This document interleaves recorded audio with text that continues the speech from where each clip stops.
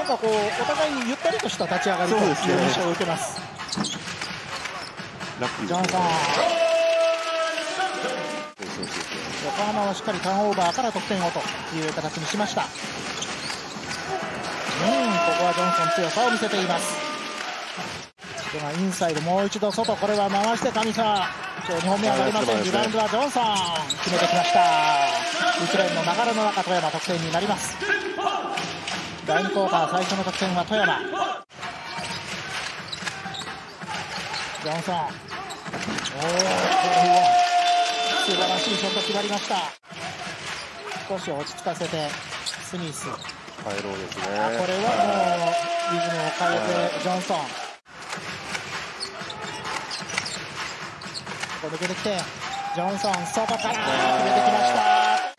ジョンソンと春山回していく松井今日はいいタッチでシュートも打っていますここはジョンソン距離のあるところ低いボールで決めてきました松井ジョンソン後ろに春山いますがここはジョンソンシュートを選択続けて決めてきました、ね、今50点見えてきましたうん、ジョンソン、スピード、これはいいプレーがたくさん富山は出てくるようになってきました。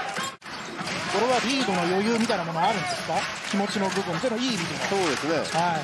丸山からこのパスのリズムも非常にいい。そして、ジョンソンがいろんなタイプのシュートで得点につなげていくというプレーもあります。でもそれだけでやっぱ限界ありますからね。そうですよね。スミスへこう、トーマンがいろんなパターンで得点しているので、こう横浜もそれをこう、第2クォーターらしいプレーが見られました。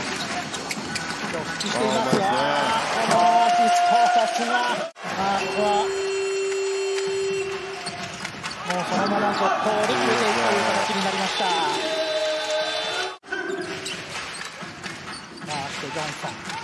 松井、いいパスが続いている。ジョンソン。アメリカに中へ入るショットクロックは2秒になっている外から打ってきた決めてきました富山81点